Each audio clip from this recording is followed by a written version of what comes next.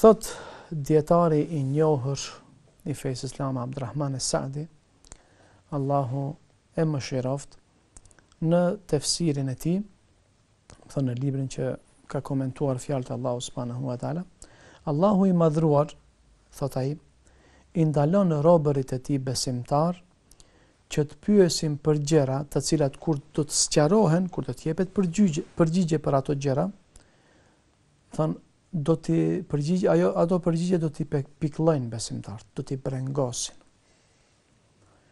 Siç është pyetja e disa muslimanëve që ia drejtuan pejgamberit sallallahu alaihi wasallam për atë se ku janë baballarët e tyre, të cilët kishin vdekur, ku janë? janë në xhenet apo në xhehenem.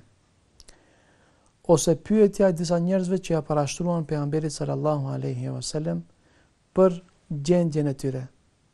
Domethënë ku do përfundojnë në zjarr apo në xhenet.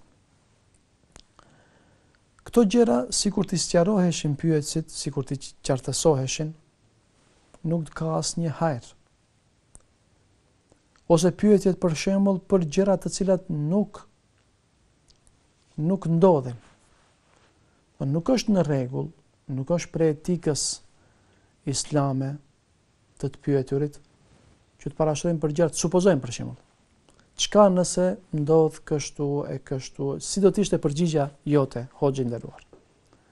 Nëse ta zëmë dhe supozojmë gjëra të cilat në esencë nuk janë, nuk ndodhin, nuk janë realitet.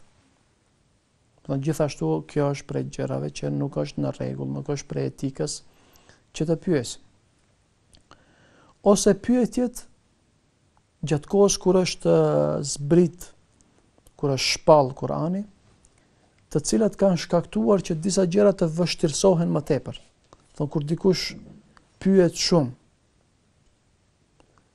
Ka pyetur shumë dhe e ka tepruar në stërhollimin e disa çështjeve dhe si rezultat i pyetjeve të tij kanë janë shpallur disa vendime të sheriatit të cilat kanë qenë vështirësim i umetit.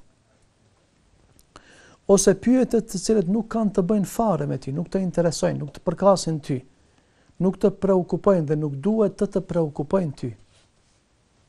Gjithashtu, këto janë, këto janë, domethënë, diçka prej pyetjeve, ose për shembull pyetjet ë për çështjet e gajbit, botës së fshehtë, të cilat Allahu nuk i ka sqaruar dhe ne nuk mund t'i dimë në asnjë mënyrë, siç është për shembull njohja e asaj se si janë cilësitë e Allahut.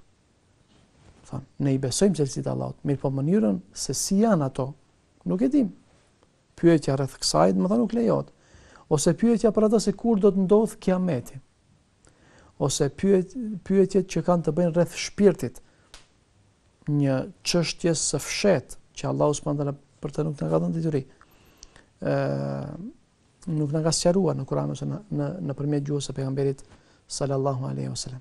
Përafërsisht këto janë kategoritë e pyetjeve ë që nuk është e udhës, nuk është e, eduka, edu, edukative, domethënë që t'i parashtrojnë njerëzit. Prandaj thotë Allahu, mos pyetni për gjëra të cilat kur t'ju sqarohen, ju dëmtojnë. Kur t'ju sqarohen, ju dëmtojnë. Tesu'kum. Mos pyetni për kësi gjëra. Kjo është një ndalesë. Nuk është sjellje e besimtarit.